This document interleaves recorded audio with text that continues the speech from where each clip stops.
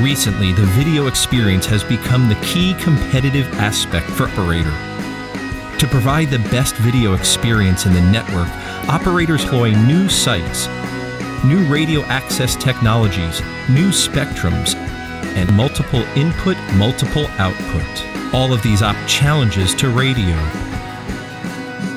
Huawei commercially launched AAU for various deployment scenarios.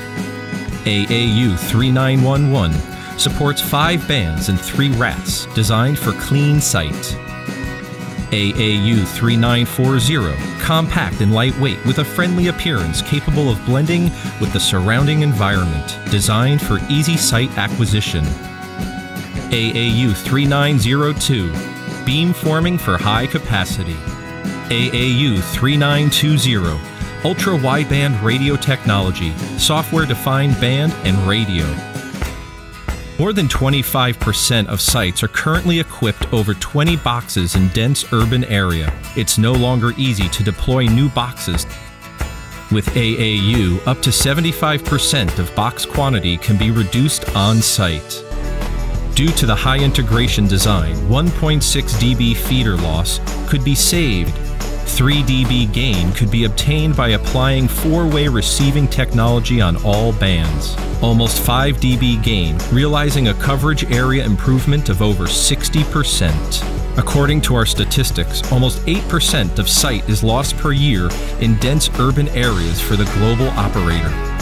With its compact and light design, the AAU can be easily installed in pedestrian streets, scenic areas, dense metropolitan areas, residential areas, and stadiums.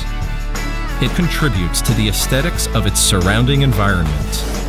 So we put the easy macro in dense area like Bangkok and some of the historical places. I think the main the main uh, difference is uh, the size of the equipment.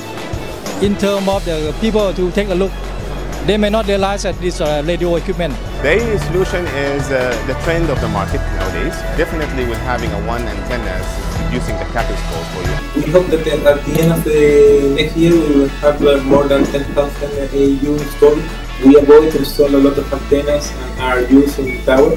The impact on the cost of the infrastructure is, is more or less 30%.